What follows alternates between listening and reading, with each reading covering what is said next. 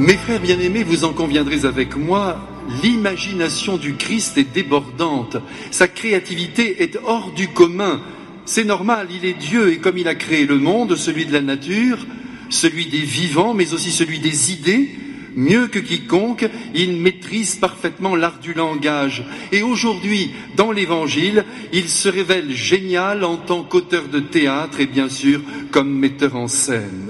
Que voulez-vous, notre Seigneur? Sait parfaitement que nous ne retenons que les histoires, alors il nous raconte des histoires.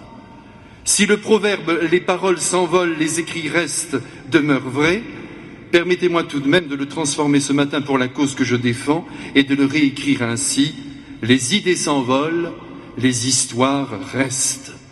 Et celle d'aujourd'hui n'est d'ailleurs pas piquée des vers, et de plus, elle est lumineuse à l'extrême. Je suis sûr qu'elle va éclairer magnifiquement nos vies en nous aidant particulièrement dans ce champ si délicat qu'est la prière. Certes, pour la plupart d'entre nous, depuis que nous sommes enfants, nous prions quelque peu, avouons-le, jamais très longtemps, car les activités, la vie, comme on dit, est là qui frappe à la porte du temps toujours manquant. Et c'est ainsi que la relation avec Dieu notre Père pèse souvent les pots cassés et se retrouve toujours à moitié coincée dans nos organisations, le matin de bonne heure ou le soir très tard, se rétrécissant parfois jusqu'à disparaître. Eh bien aujourd'hui, c'est justement le volume de la prière que notre Seigneur traite à travers cette pièce en un acte qu'il nous offre. Le décor est extrêmement simple, il est celui d'une ville dont nous ne connaissons pas le nom, ainsi cette ville devient n'importe quelle ville du monde, l'idéal étant de considérer que c'est notre ville, où siège malheureusement un juge qui est loin d'être un exemple. Bien entendu, Jésus force le trait en présentant cet homme sans aucune justice, de manière à rendre la chute de l'histoire très signifiante. Ce juge, nous dit-il, ne respecte pas Dieu. Il se considère donc tout puissant, maître de toutes choses, décidant de la vie et plus encore de la mort des personnes. Mais ce n'est pas tout. Jésus va encore exagérer le profil de ce juge en nous assurant qu'il se moque aussi des hommes. Il les considère en effet comme quantité négligeable, et là, c'est le bouquet. Ah, il est dans un bel état, notre juge. Entre nous, puisque j'y suis, je me permets cette remarque. Comment voulez-vous juger avec équité quand vous ne respectez ni Dieu, ni les êtres humains dont vous avez l'avenir entre vos mains Il y a quelques années de cela, j'avais été impressionné au tribunal de Bordeaux où je m'étais rendu pour soutenir dans sa défense un jeune garçon accusé à tort de découvrir derrière le siège du président, ou plus exactement au-dessus de sa tête, un crucifix monumental qui, croyez-moi, donnait le ton de la vraie justice. Peut-être aujourd'hui l'ont-ils enlevé au nom de la laïcité. Oh, c'est à peu près certain. Pauvre Jésus expulsé des monuments de France et bientôt des bords de route. Vous verrez, vous verrez, vous entendrez cette voix. Cassez-moi tous ces calvaires, enlevez-moi toutes ces croix, au nom du respect des consciences, s'écrira un jour notre État, soi-disant respectueux des croyances d'autrui. En tout cas, quoi qu'il en sera, ce matin, Jésus, en présentant ce juge éloigné de Dieu, laisse entendre qu'il est impossible de bien juger. Et là, il ne songe pas seulement au jugement rendu par les tribunaux officiels, mais au jugement que nous rendons, nous aussi, tous les jours, avec notre intelligence, sur les situations, sur les êtres. Oui, il est impossible, selon le Christ, de bien juger si l'on ne respecte pas Dieu, si on ne considère pas comme le juge suprême celui qui nous a créés, et si l'on n'éprouve aucun respect pour l'être humain, quel que soit son état, sa dégaine et la nature de ses fautes. Et oui, tout simplement parce que lorsque vous croyez en Dieu, votre propre jugement est subordonné au sien. Et c'est en découvrant, grâce à l'Évangile, comment Dieu juge lui-même que nous entrons enfin dans ce qu'est la vraie justice qui, disons-le, doit tenir compte de mille facteurs et peut-être même davantage pour délivrer ses sentences. Vous savez, souvent dans ma vie de prêtre, permettez-moi cette petite confidence, il m'est arrivé de rencontrer des personnes qui de fait avaient posé des actes délictueux très graves et qui, bien entendu, avaient été condamnés sévèrement par la justice humaine. Et c'était inévitable. Cependant, moi qui connaissais les profondeurs de leur cœur, je devais me rendre compte que bien avant qu'il n'entre en prison, une prise de conscience du mal commis et une conversion réelle avait déjà eu lieu dans leur esprit et dans leur cœur. Et que d'une certaine manière, comprenez bien ce que je vous dis là, la prison n'était plus vraiment nécessaire pour ces êtres qui avaient déjà grandement évolué. Mais que faire? Il n'y a rien à faire. Le regard de l'homme sur l'homme n'est pas le regard de Dieu sur l'homme. Quand vous pensez qu'en prison, certains prisonniers communient comme des anges, et tous les dimanches, je peux vous le jurer, signe que Jésus leur a tout pardonné, puisqu'il se donne à eux, et qu'en même temps, malgré le changement opéré dans leurs âmes, ils doivent encore purger leur peine, quelquefois pendant des années, mais c'est terrible. Et ne me dites pas le contraire, et surtout, je vous en prie, ne me jugez pas laxiste. Si vous étiez le père ou la mère de l'un de ces garçons dont je viens de vous parler, vous penseriez comme moi et allons-y comme le Christ, qui peut du jour au lendemain, par sa grâce, transformer radicalement un être humain. Je pense soudainement à cet homme, et là ce n'est pas une histoire, c'est un fait réel, qui venait d'être libéré de prison et qui, avec sa tête patibulaire, n'inspirait vraiment pas confiance. Tout de suite après sa sortie, il a pris le métro, et là, sur le quai, il est tombé sur une gamine de 13 ans qui venait de fuguer de chez elle. Eh bien, cet homme, sur lequel personne n'aurait misé trois sous, s'est mis à parler avec cet enfant perturbé. Et la sentant fatigué, il l'a allongé sur les sièges du, métro, il a mis sa tête sur ses genoux, après l'avoir emmitouflé avec son propre blouson. Et à six heures du matin, il a ramené chez elle en banlieue, en la tenant par la main. Les voix de Dieu ne sont vraiment pas les nôtres. Mais revenons à notre juge, qui se moque pas mal de tout le monde. Le voilà maintenant confronté à une veuve, autant dire à une femme qui n'a pas un homme pour la défendre, et qui vient donc tambouriner à la porte du tribunal, suppliant le juge sans justice de lui donner raison contre son adversaire. Ici, nous ne sommes pas étonnés, vu ce que le Christ nous a dit de ce bonhomme, de le voir refuser son soutien à cette pauvre femme éperdue.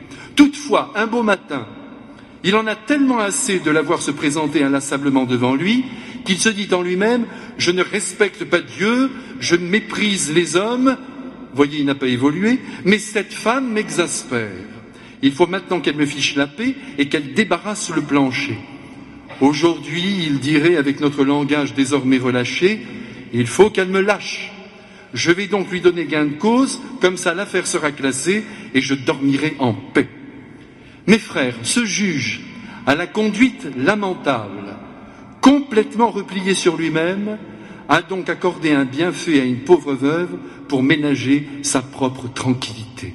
Et Jésus de conclure, si cet homme qui ne vaut pas grand-chose et dont les paramètres en matière de justice sont totalement faussés a exaucé cette femme insistante, combien plus Dieu notre Père, lui qui est bon sous toutes les coutures, va vous défendre, vous soutenir, vous aider, vous combler de grâce. Mais attention, à la seule condition que vous criez nuit et jour devant mon Père pour appeler son amour à la rescousse.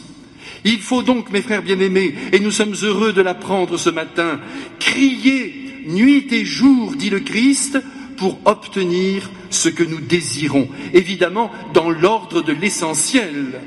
Je vous rappelle que la pauvre veuve mise en scène par le Christ n'a personne pour la défendre et ses droits les plus fondamentaux sont en danger. Et comme nous le savons, mais il est bon de s'en convaincre, Dieu notre Père, de préférence, vole toujours au secours de la faiblesse et de la détresse.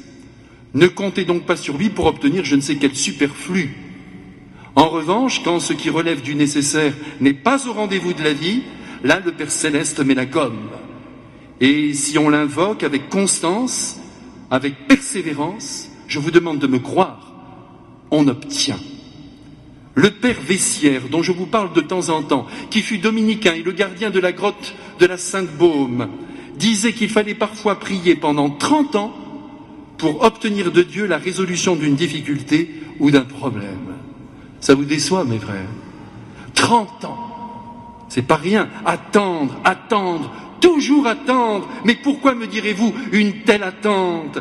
Eh bien sans doute parce qu'il faut que nous comprenions, et c'est impératif, que Dieu notre Père, que notre Seigneur Jésus-Christ, que la Sainte Vierge Marie n'existent pas uniquement comme des distributeurs automatiques de grâce. Dieu ne veut pas que nous ayons avec lui un rapport fondé sur l'utilité. Il n'y a rien de pire, et soit dit en passant de plus bas, que de marchander toute la journée avec Dieu, comme d'ailleurs avec notre famille ou avec nos amis. J'ai besoin de ceci, j'ai besoin de cela, donne-moi ceci, donne-moi cela. Et puis pour aggraver la chose et la rendre écœurante, si quelqu'un vous dit non, je ne peux pas te donner ce que tu veux, vous vous dites intérieurement, eh bien avec toi mon gars, c'est fini. Donc au début, quand celui-ci aurait pu vous aider, c'était votre ami, et quand il a fait savoir qu'il ne pouvait pas vous aider, vous l'avez jeté comme une vulgaire chaussette, si vous jetez encore des chaussettes. Ce type de rapport, Dieu n'en veut pas avec ses enfants les hommes. Parce qu'au fond, ce sont des rapports dégradants pour tout le monde, pour le demandeur comme pour le payeur. Et les conséquences peuvent être très graves, car ils sont malheureusement nombreux, ceux qui affirment aujourd'hui qu'ils ont demandé telle ou telle chose à Dieu, et que Dieu n'ayant pas répondu, c'était la preuve qu'il n'existait pas. Et voyez ce qui est incroyable, c'est que malgré le chantage que ces personnes exercent sur le ciel, Dieu ne concède pas les grâces attendues. Il se dit sans doute qu'un jour ou l'autre, ces gens déçus, il les recueillera dans sa chaloupe d'une autre manière. Alors l'avons-nous compris, mes frères bien-aimés, si de temps en temps Dieu notre Père accorde des grâces sur le champ, car il le fait ça, un miracle ici, un miracle par là, je dirais presque en boomerang, le plus souvent, ces grâces, il les retient pour ne pas créer avec nous un rapport faussé où l'amour n'aurait plus la première place. Et comme on le comprend Imaginez que vous êtes malade, alité, prostré par la fièvre. Nous avons tous connu un jour ou l'autre cet état. Quand tout à coup, dans l'embrasure de la porte, vous voyez apparaître votre mère, votre père, ou celle ou celui que vous aimez, qui, sans un mot, sans un médicament de plus, vient s'asseoir près de vous, sur le bord du lit, dépose un baiser sur votre front et vous prend la main tout en fixant avec tendresse vos yeux fiévreux. Mais c'est merveilleux. Ce simple amour est comblant. Et vous n'auriez pas alors l'idée d'exiger de ce proche qu'il vous guérisse. Vous êtes heureux de sa présence. Et cela vous suffit. Eh bien, Dieu notre Père veut aussi vivre avec nous des moments semblables à celui que je viens de décrire, où l'amour le plus gratuit, se donne à vivre. Bien sûr, vous allez me répondre que Dieu a la potentialité de nous guérir et qu'il ferait bien de le faire. Nous sommes d'accord. Mais en même temps, je le redis encore une fois, un peu abruptement, Dieu n'existe pas seulement pour nous exaucer. Il mérite notre amour, qu'il réponde ou qu'il ne réponde pas à nos attentes, fussent-elles légitimes. Je me souviens d'avoir été extrêmement marqué et même bouleversé par les propos d'un très grand neurologue et philosophe juif, au demeurant très croyant, portant kippa et talit à l'heure de la prière. On lui avait demandé Que pensez-vous des juifs qui, après les atrocités des camps de la mort, n'ont plus voulu croire en Dieu? Et il avait répondu, les yeux plissés de sagesse Je crois que ces hommes, avant Auschwitz, ne croyait pas en Dieu, il croyait en son aide. Surprenante réponse, mais ô combien juste. Évidemment, mes frères, tout cela réclamerait bien des nuances, mais il n'empêche qu'il faut essayer d'établir avec Dieu un rapport qui ne soit pas entièrement réglé par l'obtention de grâce. Encore une fois, Dieu est Dieu, il est libre de ses décisions. En soi, il ne nous doit rien. Il faut être capable de recevoir ses volontés.